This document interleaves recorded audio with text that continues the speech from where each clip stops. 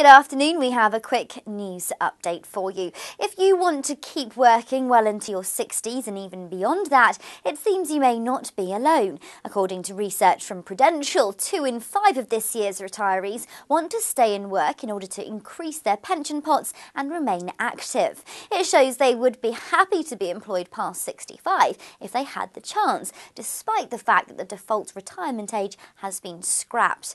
And with pressure to bring in enough cash to live on in our old age, one in 10 retirees say they'd like to start their own business. For the remainder who don't want to work or start their own business, equity release is fast becoming one of the most popular ways to stretch a retirement income further. Thanks for watching. Join us for more news later.